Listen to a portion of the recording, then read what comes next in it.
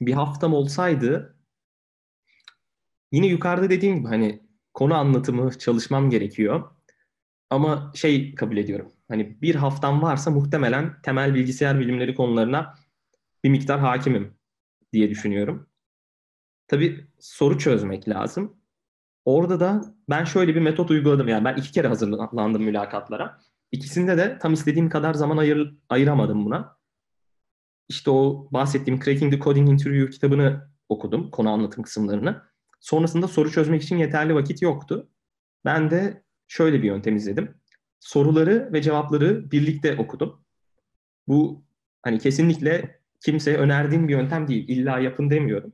Ama eğer hani bir sorunun cevabını okuduğunuzda cevap aklınızda kalıyorsa ve benzer soruları çözebilirim diyorsanız, buna güveniyorsanız inanılmaz bir zaman tasarrufu. Çünkü bir soruyu oturup kendi başınıza çözmeniz bir saat en azından hani böyle 45 dakika diyelim ya da iyimser bir tahmin. Çünkü mülakatta da o kadar vaktiniz olacak. Dolayısıyla hani günde en fazla kaç soru çözebilirsiniz böyle? 5 soru çok çok iyimser bir tahmin. Ama hani soruları ve cevapları arka arkaya okursanız bu gördüğünüz soru sayısını inanılmaz arttırabiliyorsunuz. Dolayısıyla bir haftam olsaydı ben şey yapardım. Çıkmış sorulara bakardım. Onları cevaplarıyla birlikte okurdum. Şeye çok vakit harcamazdım. Soruların hepsini kendim çözmeye çok vakit harcamazdım.